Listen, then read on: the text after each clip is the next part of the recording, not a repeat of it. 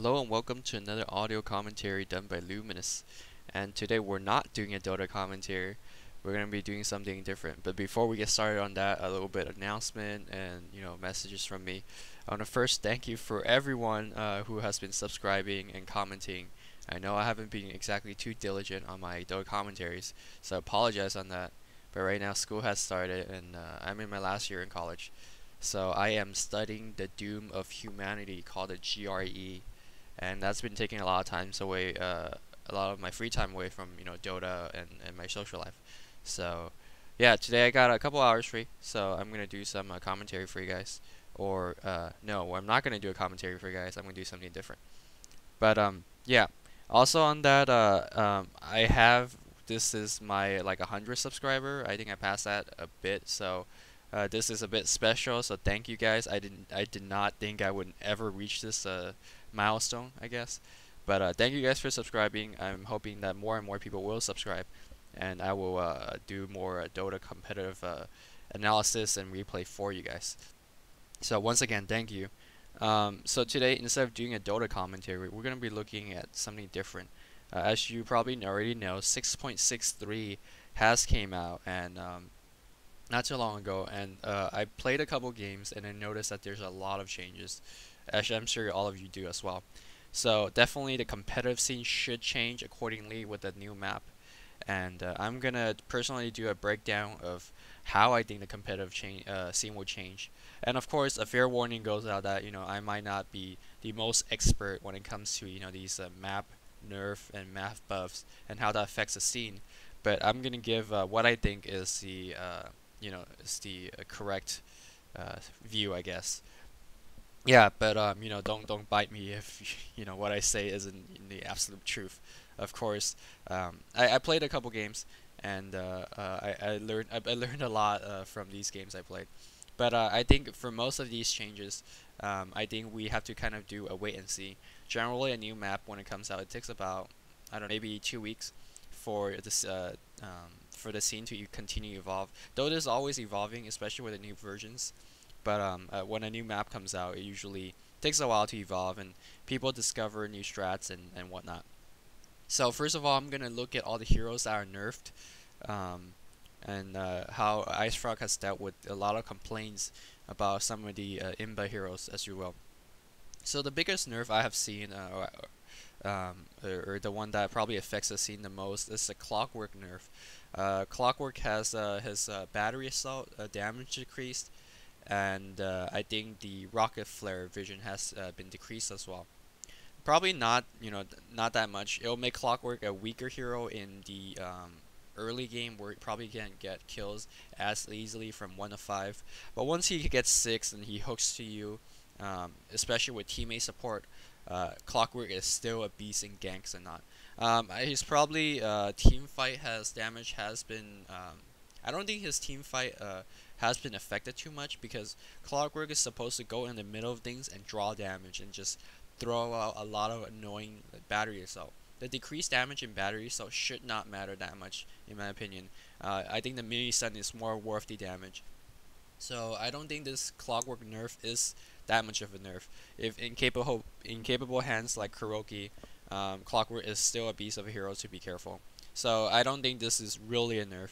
Um, uh, so the Undying nerf is, I don't know, I have a mixed feeling about it. It's supposed to be a nerf, but not really.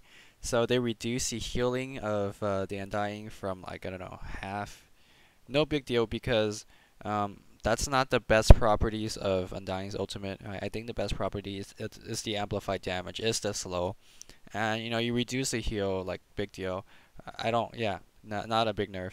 Uh, the bigger nerf, I think, is that the decreased armor in tomb Tombstone dropping from uh, 10 to 4. Now, that's a big nerf because now heroes could, you know, I guess, better focus down on the Tombstone. Before, before they usually kind of ignore it because it takes too long to kill it. But now, uh, yeah, it'll drop pretty fast. And Tomb, uh, Undying without Tombstone is pretty much a just not a very special hero other than his ultimate. So uh, I think this is kind of a, a big nerf on the Tombstone, but not so much on the healing. Another nerf I noticed is the Bane Elemental nerf. Uh, probably another not a big, uh, too big of a nerf. Uh, they increased the uh, the mana cost for his ultimate. You know, um, I guess it's okay. Bane Elemental is probably a lot of times uh, constricted by his mana use, especially most mains nowadays play a very, uh, I guess, support main. They buy wards and, and stuff. But I mean, if you get some intelligence items on the Bane Elemental, there's the mana cost nerf isn't uh, that big of a deal. Probably should um, Bane probably can't cast as much spells in a team fight, but generally Banes get focused down so fast that they never really, you know, get, get able to cast all four of their skills. So, uh, mm, I don't know. I don't think this is a real nerf. And there's like pretty weak uh, nerf as well. That there's a Viper MS nerf, which you know doesn't matter that much. Since Viper has could orb walk, especially when he's level six and drop an ultimate on you. Viper still has insane laning abilities with his uh, Nether Toxin or whatever it's called. So uh, Viper is still probably gonna be a scene in competitive scenes. Enchantress has a decreased strength gain nerf. Uh, Enchantress is never really uh, much of a carry hero nowadays. Most players that play her jungle, um, so you probably see less of her. But um, I think she's still um, worth the pick being able to jungle, get freeze up a lane, and comes out with the Imba Hill. But she is going to be a lot weaker.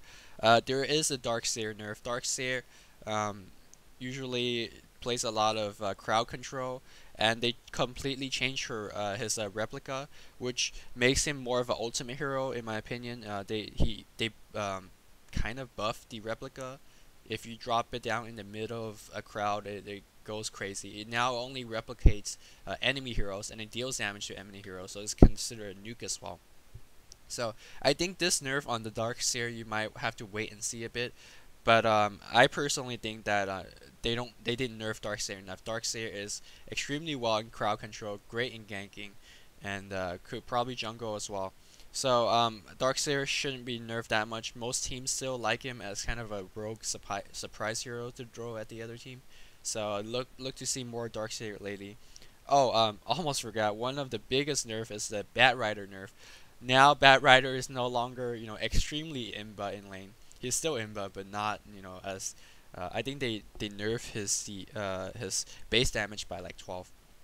So Batrider, um, you know, I think they changed also his uh, sticky napalm now is more for sl uh, slow um, and uh, increased mana cost. So you probably won't see uh, um, the Batrider spam just as much, but he will spam a lot still with the napalm and you know last hit and everything. But with the decreased damage, uh, base damage on the Batrider, should see less of it. Um, still, Batrider is a really good hero in disrupting team fight with his ultimate and um, his blast or whatever.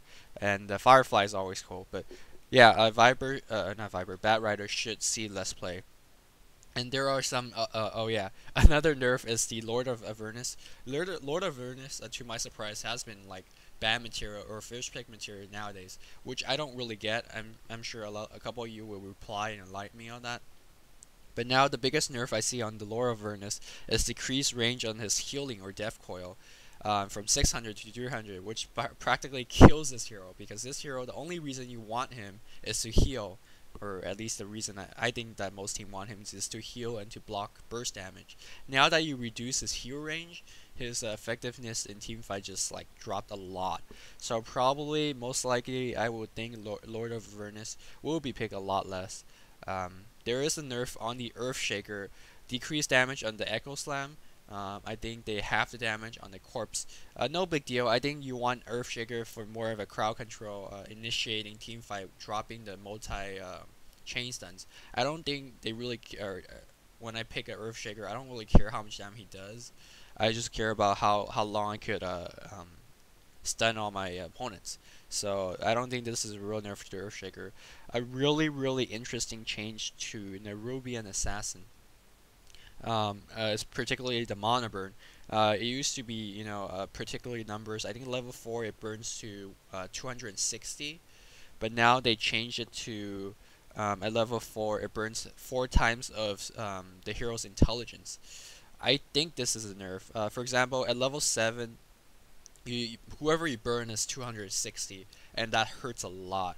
But now, like, if if I'm playing, I don't know, a really low intelligence strength hero, and by level 7 I have like what 30 intelligence you get burned at 120 from me which is no big deal I mean it's still a lot at level 7 um, but uh, I think it this has been a considerable nerf. But the other side of the coin is that it kind of scales with the